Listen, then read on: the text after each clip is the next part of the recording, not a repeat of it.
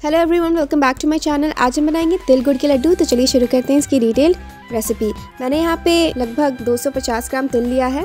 इसे अच्छे से रोस्ट कर लें, फिर इसे अलग निकाल लें। उसके बाद कढ़ाई में एक चम्मच घी ले और एक छोटे कटोरे से गुड़ ले। आपको जितना मीठा रखना है, आप उसके हिसाब से एडजस्ट कर सकते हैं। मेक श्योर sure कि बहुत ज़्यादा कम ना हो, नहीं तो तिल अच्छे से चिपकेंगे नहीं एक दूसरे में। जब ये मेल्ट हो जाए अच्छे से तो इसमें तिल डाल दे और इसे अच्छे से मिला लें, एक से दो मिनट तक।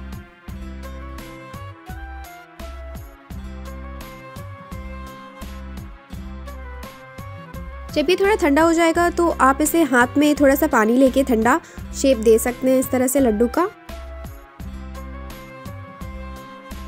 आप अपने पसंद का इसे कोई भी शेप दे सकते हैं। तो इसी तरह मैंने इसे शेप दे दिया है गोल लड्डू का। आप इसे गरम गरम भी खा सकते हैं या फिर इसे ठंडे होने के बाद भी खा सकते हैं।